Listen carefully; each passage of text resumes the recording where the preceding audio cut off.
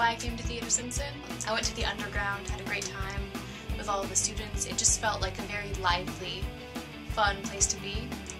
I picked Theatre Simpson because it seemed like when I came here for scholarship weekend, it was very much like family.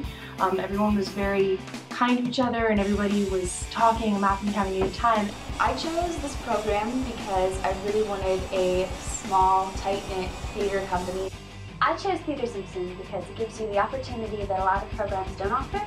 Um, more conservatory programs only let you focus on one aspect of theater, like technical or performance, but here you get to learn a little bit of everything, which I feel like is really helpful in a career in the theater department.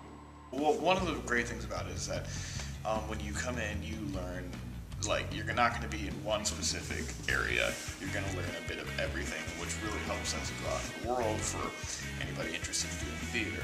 Not to mention, it helps with like your oral communication skills because it really it makes it easier to talk to people and to give presentations and tell people what you want, sort of things like that. You come in and like you might be an actor or you want to do a specific thing, but you end up doing so much and learning so much in such a short amount of time. What it's done for me is it's helped me build confidence in, in myself, in my skills, and it makes me think that theater is an attainable career. It gave me a working knowledge of almost all areas of theater.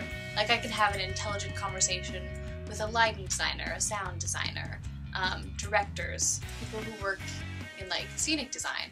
The people at Theatre Simpson are the greatest too. It's like coming into a new family and they're just all so accepting and everyone's so wonderful and the professors genuinely care about what you want to do and they're just so nice. Everyone is just, it's, it's a family.